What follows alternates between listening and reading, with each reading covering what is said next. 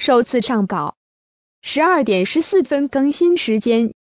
十六点二十八分，记者王俊奇花莲报道。花莲县卓溪乡南安瀑布，一头疑似与母熊走失的四个月大台湾黑熊宝宝，自十三日被发现后，迟迟等不到熊妈妈到来。林务局二十四日发现熊仔活动力下降，体重变轻，还伴随拉肚子。经专家学者研议，决定将小熊泽的短期照养，在完成野化训练后送回南安野放。疑似失护的南安幼熊。体长约六十六公分，体重四点四公斤，因体重不断下降，加上活动力减弱，不明原因拉肚子等，健康状况让照护团队相当堪忧。在屏东科技大学野保所所长黄美秀的团队协助下，二十四日紧急捕捉，二十五日启动健检并抽血，二十七日检查结果出炉，确认他有中至重度贫血与发炎状况。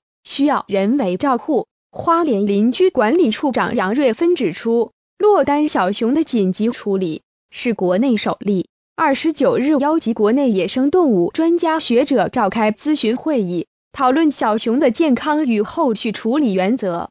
与会者多认为，首要需维持小熊健康。他说，考量幼龄黑熊几乎无法单独于野外存活，另评估母熊接回小熊的可能性已低。决定择的让小熊接受短期人工照养后，喂食专用熊饲料补充营养，在野放回归自然。目前仍会在南安瀑布附近山区放置小熊的粪便与播放叫声，并设置红外线自动相机观察母熊是否出现。因此，南安瀑布步道将持续封闭。针对南安小熊状况，黄美秀也在脸书写道：“在熊界。”母熊和小熊的连接是非常强的，这多少和幼熊早产有关。以台湾黑熊来说，七八十公斤的母熊生产的出生小熊只有三百公克不到，不到人类婴儿比例的十分之一。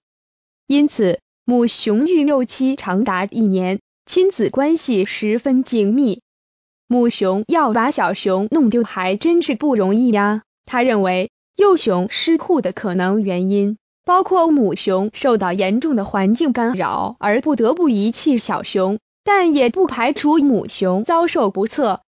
因此，濒危黑熊族群的复苏，除了有赖完整的生态期的提供之外，还需要有知道如何与熊相处的好邻居，也就是人，以避免不必要的干扰，包括狩猎、欠缺无痕山林的游憩行为等。